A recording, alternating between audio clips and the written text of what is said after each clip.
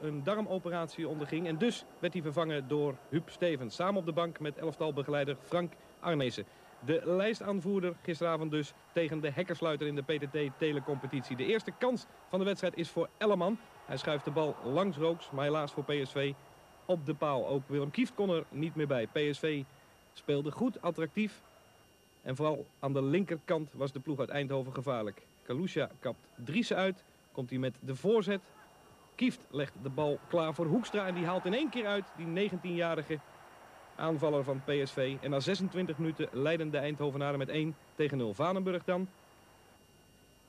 Samen met Elleman bijzonder actief. Kaatst met Willem Kieft. Balletje achterlangs. Probeert Hoekstra te vinden. Dat lukt hem ook. Die kapt zijn tegenstander goed uit. Haalt hard en droog uit. En dan is het na 40 minuten spelen 2-0 voor de Eindhovenaren. En de tweede treffer van Peter Hoekstra. Aanval dan van VVV. De voorzet is van Gerenstein. Van Breukelen is attent en heeft bovendien heel snel de vrijstaande man gevonden. We zitten in de laatste seconde van de eerste helft. Als Elleman hier wordt aangespeeld. Actief en gevaarlijk aan die linkerkant. Langs zijn tegenstander. En wat is hij stijlvol als hij op snelheid is. En in die laatste seconde scoort hij zijn achtste competitietreffer. En de derde gisteravond voor PSV. Kijken we nog een keer naar dat moment. Handig door de benen van zijn tegenstander. En als hij op snelheid is, is hij niet meer te stuiten. En PSV rond de eerste 45 minuten af met een 3-0 voorsprong. Beelden dan uit de tweede helft met een hele aardige aanval van VVV. Want de ploeg vecht voor wat het waard is. Komt de voorzet en het is Van Breukelen in eerste instantie en Koeman in tweede die de bal uiteindelijk over de achterlijn werken.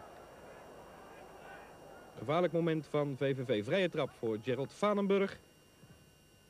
Wordt doorgekopt en is het Kalusha met de kans. En dan is het de paal en de rechterhand van doelman Rooks die de vierde treffer voorkomen krijgt. Elleman nog een kans in de rebound, maar die inzet gaat naast de goal. Elleman opnieuw dicht bij een treffer. Halverwege de tweede helft dan als Van Ale Vanenburg aanspeelt. Prima voorzet langs zijn tegenstander. En daar is Ellerman. En die kopt de bal keurig in. Wat een prima goal van Jules Ellerman. Zijn negende competitietreffer. En PSV leidt met 4 tegen 0. De voorzet van Vanenburg is natuurlijk afgemeten. En uiterst precies. En Ellerman werkt briljant af. PSV wint solide. Juist. Want er stond een gigantische plas op het veld. Dat krijgen we nu te zien. En dus was er een leger mannen opgeroepen om in deze groene grasmat van de heer Kees ten Brave te prikken en te wrekken om het overtollige water te laten weglopen.